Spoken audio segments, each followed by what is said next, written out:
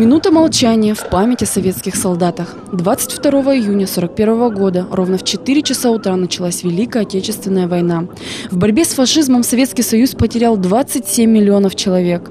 Воинов-освободителей вспоминают и в Губкинском. Сегодня мы с болью и благодарностью вспоминаем тех, кто не вернулся с поля сражений из фашистских застенков, кто умер от ран, болезней и приток от холода и голода. Вечный им покой и вечная память.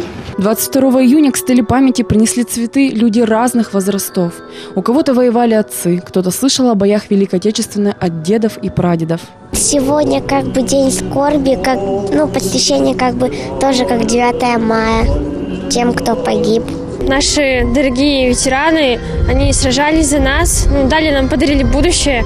Конечно, я очень уважаю их и люблю за то, что они сделали. Для меня это день памяти. Я очень большое спасибо хочу сказать ветеранам, которые, с, с помощью которых мы тут вообще живем, мы существуем, которые многие дороги для нас открыты с помощью их патриотизма и с помощью их смелости. В руках пришедших цветы. Многие жители скорбят по советским солдатам, по своим родным, которые испытали все тяжести войны. Я думаю, что нету такой семьи, в которой, которых не коснулась эта Великая Отечественная война. Да, у меня тоже дедушка воевал. Воевал в двух войнах, в Великой Отечественной и э, в русско-японской войне. За мирную страну отдали свою жизнь тысячи сынов российского народа. Это были правоохранители, благословы, ученые, учителя, строители. Вот это наши герои. 22 июня – день скорби и печали. По всей России вспоминают тех, без кого бы мы не дождались победы. Очень важно сегодня, чтобы молодежь продолжала эти славные традиции. Те ребята, которые идут в армию, чтобы они были достойными представителями своих дедов, так сказать, и прадедов и защищали нашу страну, а в случае необходимости вы вышли на ее вооруженную, так сказать, охрану. Хочется, чтобы вот и в целом наша страна, великая страна, и в частности наш город э, был тем местом, которое бы ну, всегда притягивал, всегда создавал хорошее настроение и была вера в будущее, перспективу. Со слезами на глазах вспоминают этот день и ветераны. С первого дня Великой Отечественной войны прошли десятки лет, но горечь утрат, вспоминания о лишениях, гибели близких так же свежи, как и 72 года назад.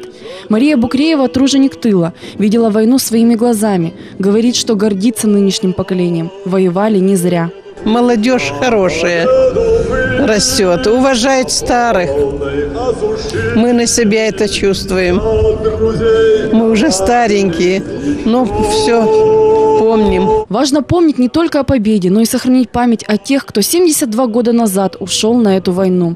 Тем более, что многие, кто отчаянно боролся за свою страну, не жалея жизни, так с нее и не вернулся. Сегодня нельзя было не заметить так ярко выраженное неравнодушие жителей города, э, отзывчивость людей, потому что самое главное радует, у жителей нашего города сложилась традиция отмечать так, как нужно это делать, те торжественные даты, связанные с историей нашей страны, скорбные, радостные даты, именно отдавая дань светлой памяти погибших, отдавая почтение и уважение ныне живущим ветеранам. После стелы памяти глава города вместе с ветеранами отправились на городское кладбище, чтобы отдать дань памяти шести ветеранам, которые когда-то жили в нашем городе.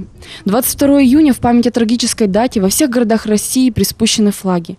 В этот день мы вспоминаем всех, кто пал смертью храбрых на полях сражений, кто умер от ран в госпиталях, был замучен в концлагерях, всех тех, кто смог пройти войну, восстановить страну, но, к сожалению, не дожил до наших дней. Вечная им память и слава.